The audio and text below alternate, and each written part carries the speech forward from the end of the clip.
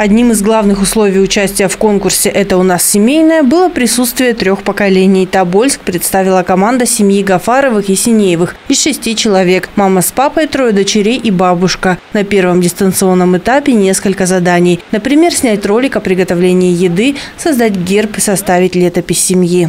Были еще спортивные состязания. Мы устроили йога-челлендж, кажется, он так назывался. Да, Было да. очень весело, на самом деле. Украшали дом к Новому году. Также ну, дистанционно да. проходили интеллектуальный тур. Это, по-моему, было очень весело.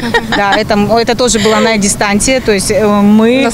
Да, это было... Да, вот именно этот этап мы, получается, были на связи. Физически находиться друг с другом да. рядом не могли. Быть всегда на связи им не привыкать. Каждый занят своим делом. Однако дня не проходит, чтобы не позвонить родным. А подготовка к конкурсу сблизила еще сильнее. Он интересно выстроен изначально даже на э, дистанционном этапе, на этапе подготовки к поездке в полуфинал, финал.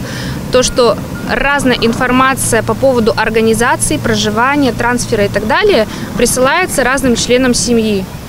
И даже вот на этом этапе конкурс направлен на сплочение и на взаимодействие э, Всех. членов семьи, да. да. Младшие Гафаровы говорят, главный секрет их сплоченности – дружба и принятие друг друга такими, какие есть. Старшие в семье подтверждают. Я очень довольна своими детьми, девочками.